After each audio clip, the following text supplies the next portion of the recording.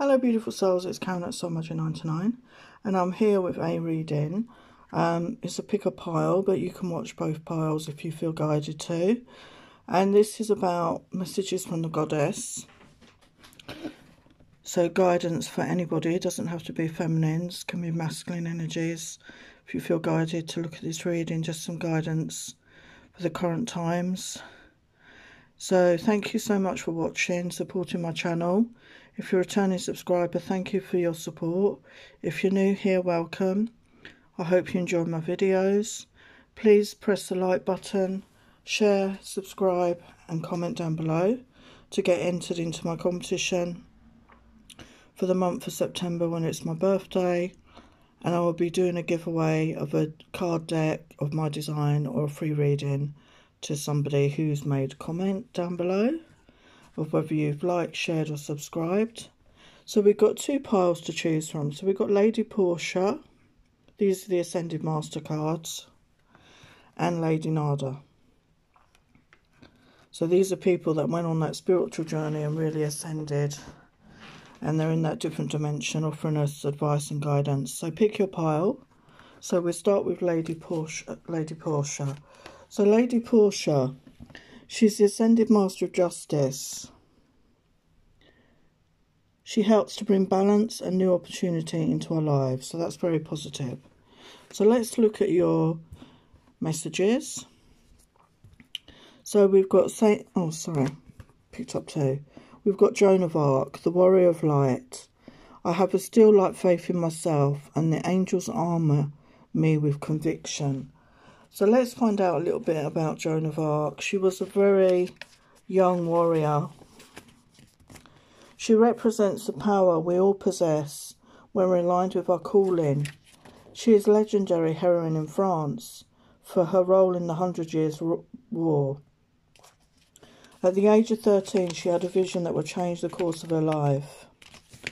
She relates later after being captured by the English that she would have preferred to stay in her hometown spinning wool, but the power of her vision was so strong and she had to follow the voice she heard.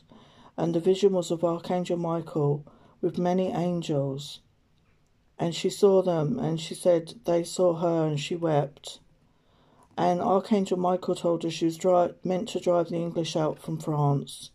She dressed in men's armour and she led several campaigns against the English and became a symbol of hope. The power of her conviction, she was acting on God's behalf. She was captured and taken to Rouen, and she was condemned and sentenced to death in May of 1431. Twenty five years later, her mum, Isabelle Romée, uh, as well as other people, demanded a a retrieval, and 115 witnesses were called to testify to her defence. And she was declared innocent in 1456 and canonised in May of 1920. So she was very much driven by her guidance. She followed her guidance, even though it got her into a bit of trouble, obviously, and difficult circumstances, but she followed her guidance. So, what is your vision for your life? And have that intention to have a still like faith in yourself, and the angels armor, armor you with your conviction. So, what is it that you feel so strongly about in your life, okay? And we've got Saint Bridget, Our Lady of Exalted Light. I get I give endlessly because the light is without end. My soul is all I need.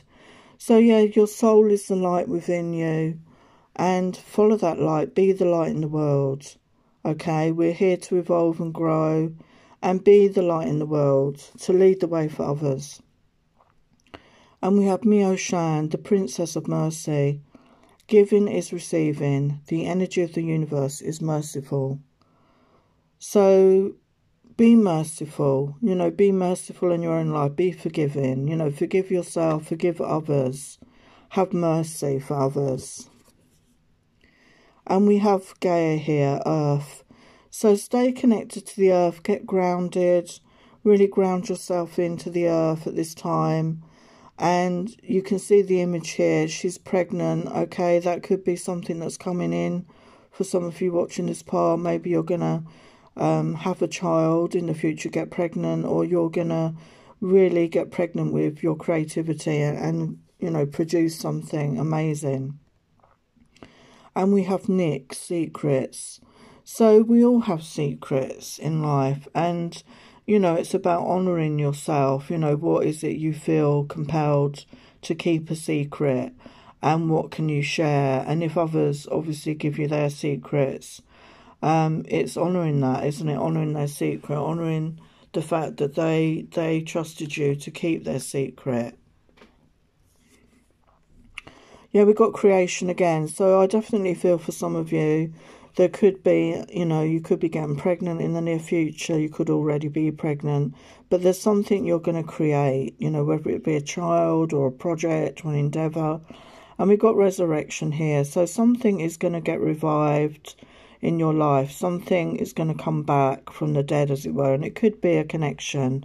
Maybe this is going to get resurrected. And we've got morality. So I feel you live your life with morality, morality. You live by your own codes, you know, you follow your own moral compass. So now we're going to get a message from Isis. And we've got the miracle of Isis, miraculous healing of the goddess. So let's get your message.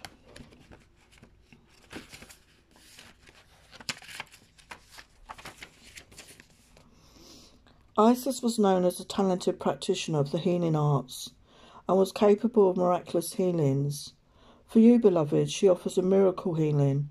No matter how much you have struggled with a particular matter, no matter how impossible it may seem to imagine your life without this old wound, addiction, problem, relationship, issue, or inner struggle being a part of it, you are guided now to accept the possibility of miraculous healing to let go and let the goddess be. Beautiful. So something in your life is going to get healed. So there's an incantation here, and it says, Love and light, peace and power. Miracle healing descends this hour.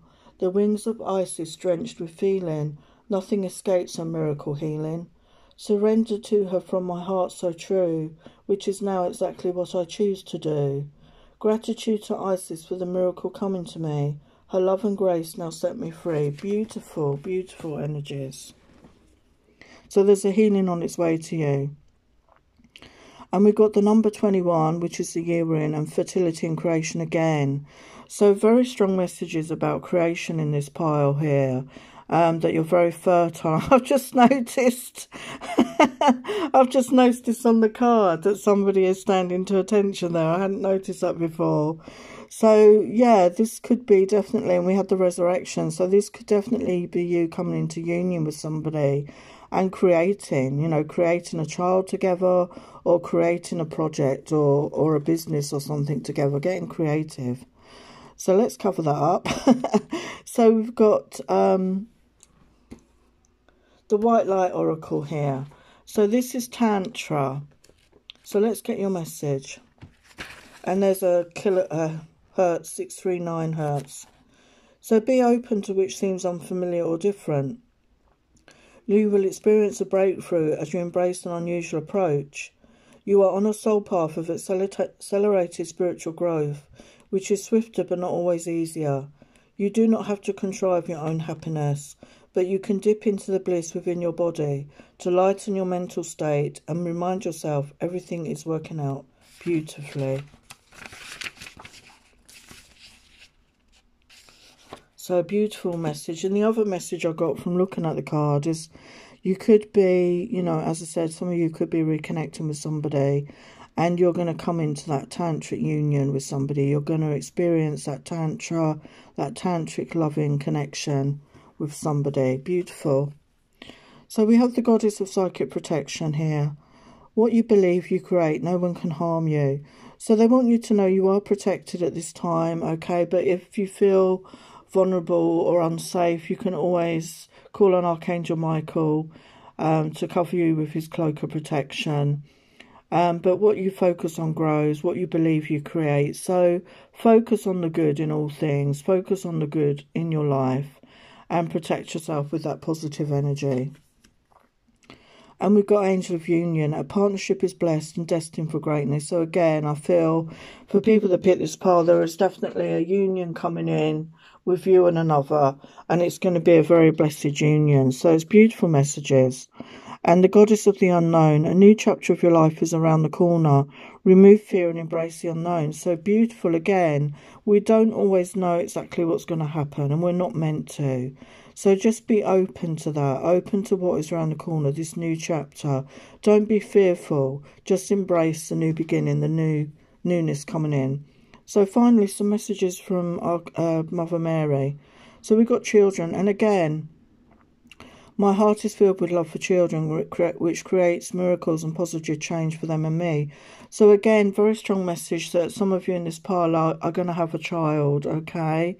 Um, some of you could already have children, okay? You could be a loving parent already, and it changes you, you know, when you become a mum. I'm a mum to three grown up children, and it's, you know, it's difficult being a parent. It's not easy, but it's amazingly rewarding, it's challenging, you know, it's full of laughter, full of tears, but it, it you know, opens up your life to so much more and you can learn so much from your children. So I definitely feel some of you are going to have a child in the future.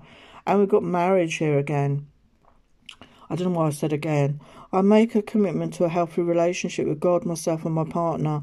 So for this pole, there definitely does seem to be a rebirth for some of you. It could be somebody new coming in, but a new beginning. I didn't expect these for these messages, but that is the message I have for you. So there's a marriage on the horizon, a union on the horizon, and children on the horizon. And just stay open and positive and optimistic. So there are your messages, part one. Thank you for watching. Love and blessings. Hello, party. You chose Lady Nada, another Ascended Master. And she was the Ascended Master of female and male energy. She helps to bring peace and harmony to our lives and balancing energy. So, yes, I mean, those of us on that journey, we're, we're very much trying to balance our masculine and feminine energies within us. You know, this is a constant thing that's evolving right now. So we have Mary of Nazareth, the Mother of God. I am blessed, my courage gives birth to the divine. So let's learn a bit more about her.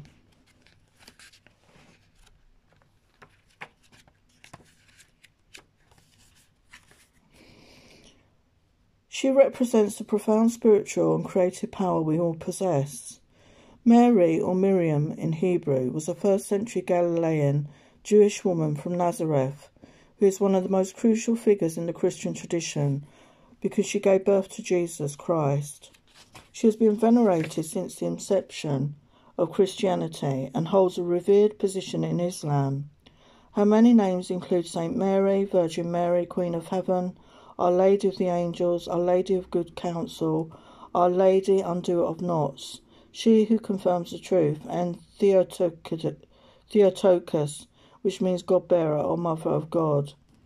The Gospel of Luke relates that when Mary was engaged to Joseph, the Archangel Gabriel visited her, and he announced, or she announced, What joy! Do not be afraid, Mary, for you have found favour with God.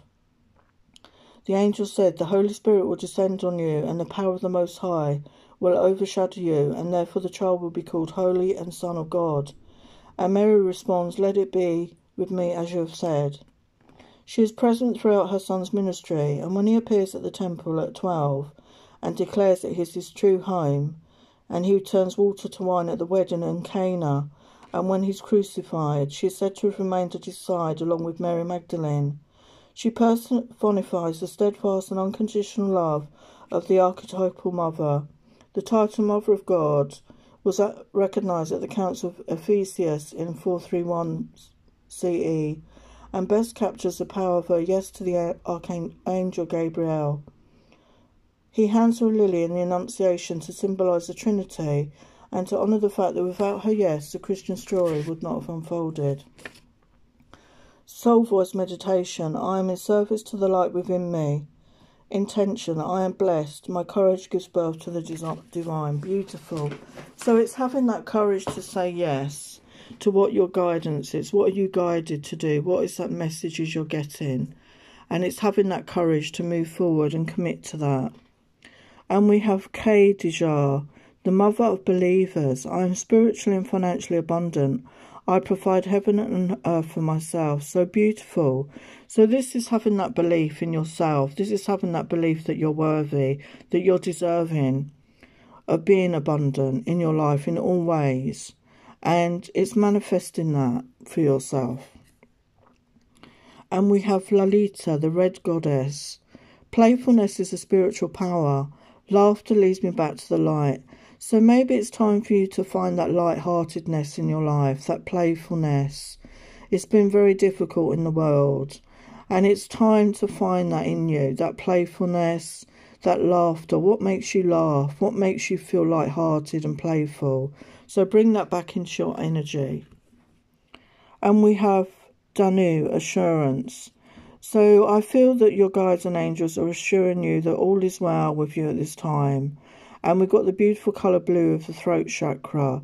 And maybe you need to do some affirmations to make yourself feel more positive at this time. And we have our Artemis focus. And again, when you're manifesting, it is setting that focus, that intention, focusing on what it is, the outcome you want, what you're desiring. So set your intention, set your focus for what it is you truly desire for yourself and have the courage in your life, have the courage to move forward and to, you know, realize that you are worthy, you are worthy of being abundant. And look after yourself at this time, be in that energy of self care, self love, you know, really take care of yourself right now. Being your own best friend. And we have enchantment. So, you know, be enchanted in your life. I'm sure that other people are enchanted by you. Find the enchantment in your life. What is it that you can be enchanted by? What is leading you on? What makes you feel positive? and a message from Isis, Portal of Light. She glides on wings through time and space. So let's get the message. It is only this physical reality that is bound by time and space. You are a being conscious on levels beyond the physical world. You are guided to work with your healing powers beyond the confines of time and space and to allow your sense of self to expand. It is safe for you to do this now. You will not become ungrounded through such spiritual growth. You are not leaving your earthly awareness, you are instead adding to it. Wow. so don't be afraid to move through time and space because we are energetic beings of light in, in truth, in reality. And we have Hathor, love and music. So I feel that music is very good for manifesting and have that love, you know, that love in your heart, that compassionate self love, that love for others. Be in the energy of love. That's the highest vibration of all. And together, love and music can create miracles, I feel. Beautiful. So this is the White Light Oracle, and we've got Cupio Dissolvi. So let's get your message. It's time to let go. Things are working out in their own way. Trust your heart is wise and is leading you on a soul healing journey and the right spiritual path. Spirit wants you to bring you a blessing and a resolution, but you must let go and allow it to happen. Events are unfolding according to a higher plan. Even if your plans are going awry, know that all will come together at the right time and in the best way. Surrender your struggle and hold on to your faith. Beautiful. So let go. Stop trying to control everything. Everything is a higher plan, a higher purpose. Everything will work out in divine timing, in divine order. Just trust, surrender, and let go right now. So we have the angel of finances. Honor and give thanks for the blessings you're about to receive. Beautiful. So the guidance, and the message for you is that there is financial abundance coming in and blessings coming in. So be grateful, be in that energy of gratitude. And the goddess of knowledge. Start to apply what you already know. Trust your intuition. So her third eye is on fire there. Okay, she's holding like a, a crystal ball of light. So tap into your intuition. you know, work with that, trust it. The more you use it, the, the more stronger it becomes. Tap into your higher self, connect with your guides and angels at this time. And we have Goddess of Oneness. Someone you love is thinking fondly of you at the moment. How beautiful is that?